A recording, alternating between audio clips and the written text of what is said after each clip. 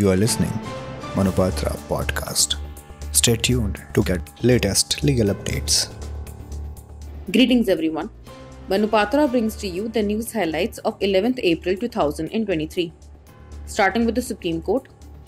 The Supreme Court, while observing that words used in Section 271C, Subclause 1, Subclause A are fails to deduct, and the same does not speak about belated remittance of TDS, has held that no penalty is leviable under Section 271C of Income Tax Act 1961 on mere delay in remittance of TDS after it is deducted by the assessee.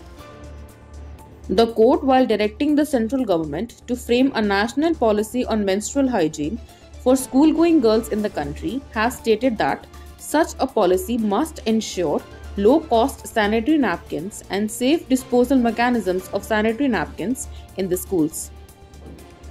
The Supreme Court has observed that court must reconsider its views in CBI versus Anupam J. Kulkarni, wherein it was held that police custody cannot be beyond 15 days of arrest and further remand to facilitate investigation can only be by detention of accused under judicial custody. The court has held that under Section 11, Subclause 6 of the Arbitration and Conciliation Act 1996, courts are not expected to act mechanically and observed that limited judicial scrutiny at the pre reference stage through the eye of the needle is necessary and compelling. News highlights from the High Courts, starting with the Delhi High Court. The Delhi High Court, while observing that pursuing LLM in law does not constitute a break in practice, has held that profession of law also includes drafting of submissions, representation before courts and authorities, assistance in regulatory compliance, amongst others. The High Court, while upholding notification of state banning manufacture and sale of chewing tobacco products, has observed that those scheduled products falling under Cigarettes and Other Tobacco Products Act are regulated by separate provisions. The Act cannot be considered as all encompassing legislation on the subject.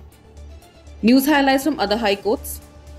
The Calcutta High Court, while ordering state to restore the security protection of a retired IGP, has observed that constructive criticism of the state is a necessary and essential right of any citizen.